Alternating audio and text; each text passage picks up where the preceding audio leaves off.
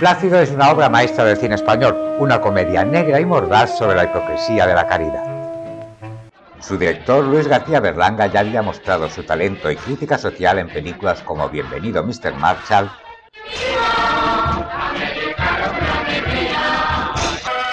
Calabuch,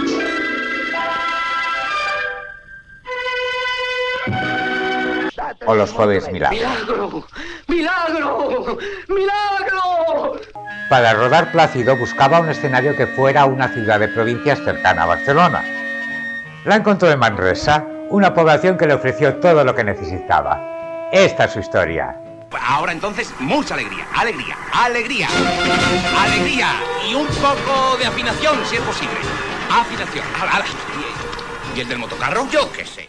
En 1961 España salía del aislamiento y se abría al mundo.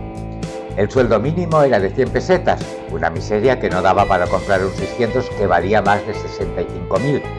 Pero la economía española empezaba a moverse, era el desarrollismo. El Cid. Anthony Mann rodaba el Cid en Peñíscola, una película con mucha historia y mucha guerra. Era el año 1961 y el mundo cambiaba deprisa. Berlanga se había hecho famoso con Bienvenido Mr. Marshall, que triunfó en Cannes en 1954.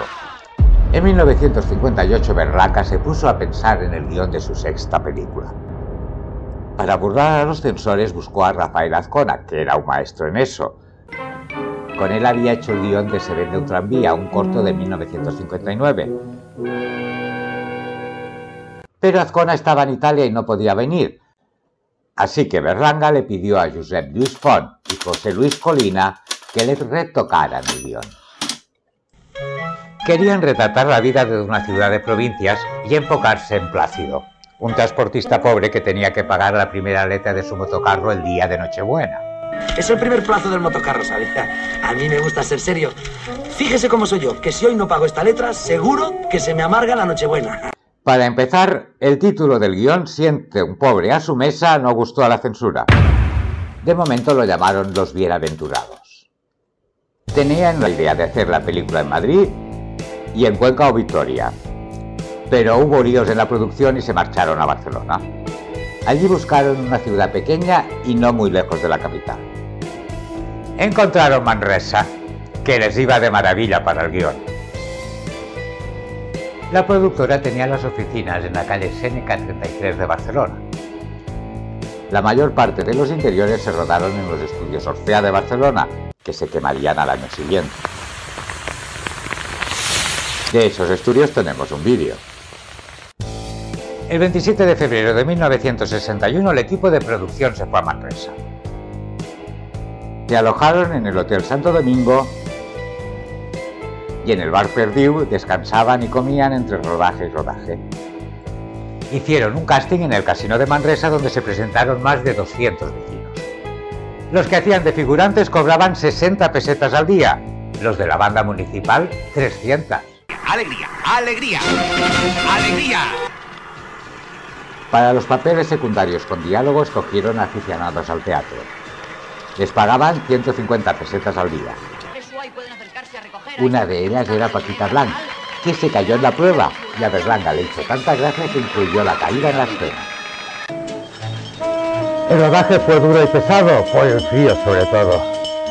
Los ancianitos no pueden seguir aquí, se nos hiela. Está helando. Dame el abrigo, me estoy muriendo de frío. Pero con este frío... No, llámela al sereno, está helando. La he prestado el abrigo, tenía mucho frío. Coñac, queremos que nos den coñac. Empezó el primero de marzo y acabó el 29. Muchas escenas de interiores se grababan de noche. Los fines de semana el director y su equipo se iban en tren a Barcelona a ver lo que habían filmado en el cine Windsor.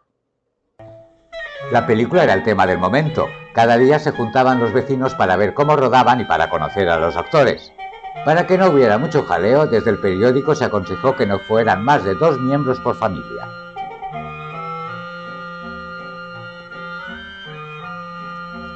La historia transcurría en una ciudad de provincias, donde unas reatas que les gustaba hacer el bien a la vista de todos, se les ocurrió una idea para la Navidad. ¿Usted las conoce? Yo sí. Serán unas pelanduscas.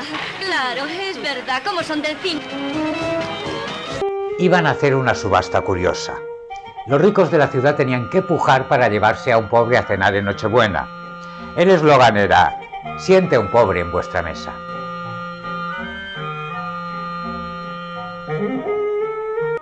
Le ha tocado, anciano del asilo o pobre de la calle? Porque los de la calle los tenemos abajo. El que se encargaba de montar la campaña benéfica era Quintanilla, un petimetre que contrataba a un pobre hombre para que se diese en la cabalgata con su nuevo motocarro. Buenas tardes a todos. Felices Pascuas. Plácido se mete en un lío tras otro, con miedo a no poder llegar al banco para pagar la primera letra de su vehículo. ¿Qué te ha pasado? La letra, he de pagar los gastos, tengo que ir al notario. Al final de la noche, cansado y decepcionado, se da cuenta de que la campaña de Navidad, en lugar de ayudar a los pobres, ha sido una farsa. Arriba, vuelo. Si lo llego a saber, me quedo en el pueblo. ¡Te arranco! ¡Mira! Plácido es una película que habla de la incomunicación, un tema que le gustaba mucho a Berlanga. Todos sus personajes, ricos o pobres, están metidos en sus problemas y contradicciones y no ven más allá de sus narices. Las hermanitas dicen que no, pero... Son una suerte de galería sociológica del franquismo a través de los cuales hablaba toda una época. Una característica de la película es su espíritu coral, siempre presente en los guiones de Berlanga y Azcona. El motocarro que porta una estrella de Navidad en el techo es un personaje más de la película.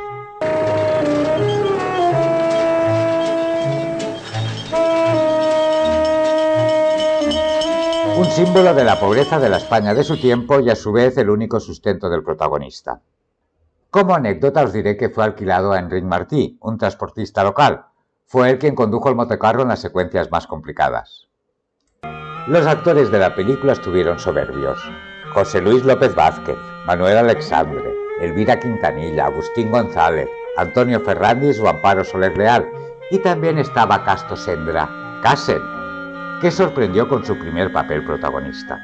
Más los gastos. ¿Los gastos? Pero si aquí nadie ha hecho ningún gasto. Las localizaciones son claramente distinguibles. El Pont de la Reforma, la Via de Sant Ignasi, la Plana de l'Om, el Born y la Plaza de Sant Domènec. La fiesta de repartir pobres la hicieron en el casino de Manresa. ¿Usted canta?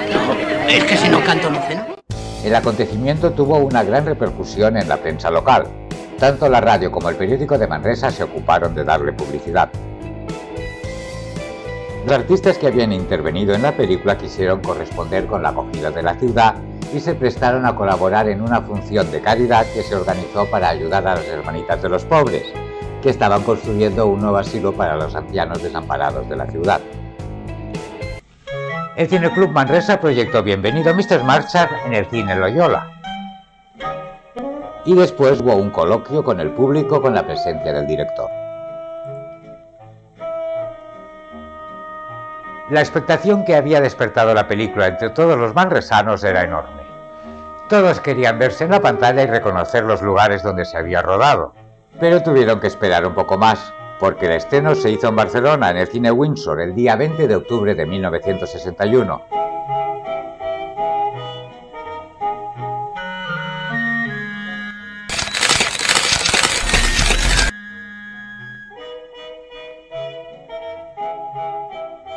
A Manresa no llegó hasta unos días más tarde.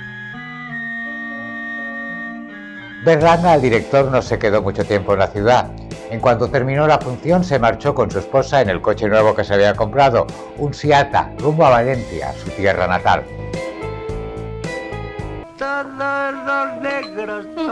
Yo no puedo soportar más. Tú verás lo que haces con tu pobre. La película tenía que ir al Festival de Venecia donde la habían escogido como representante de España, pero no pudo ser, porque los censores se habían ido de vacaciones en agosto cuando tocaba enviar el film.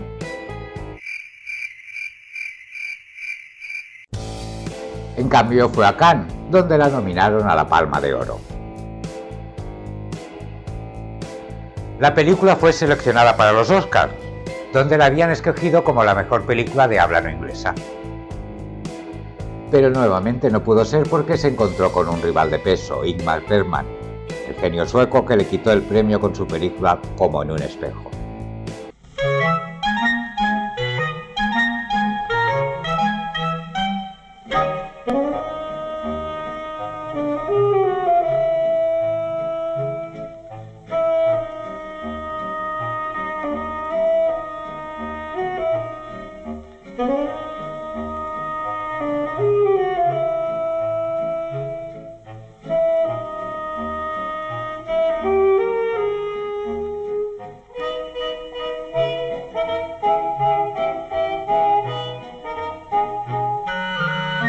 Si os interesa el mundo del cine, recordad que tenemos varios vídeos sobre el séptimo arte.